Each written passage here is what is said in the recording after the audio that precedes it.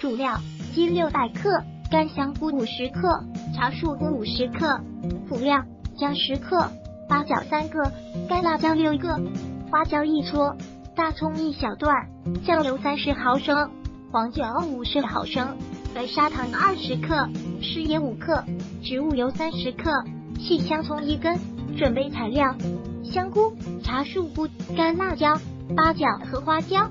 切香片待用，茶树菇和干香瓜用温水浸泡，泡发后的菇类滤掉沙尘，留下浸泡过菇类的水，即洗净、斩蟹，沥干水分，炒后放入植物油和白砂糖，用小火将砂糖煮成琥珀色，将鸡块放入炒锅，爆香，把鸡块炒至金黄色，放入姜片、干辣椒、八角和花椒，翻炒片刻，加入酱油炒匀。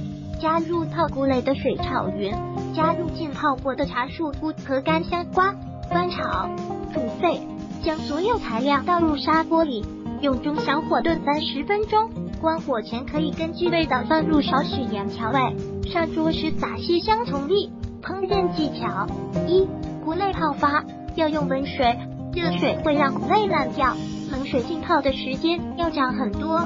二、斩件后的鸡块要沥干水分。不然放在炒锅里，使得油花四溅。三、花椒和八角不宜多放，不然会掩盖了蘑菇和鸡块的鲜美。如果喜欢本视频，请订阅本频道。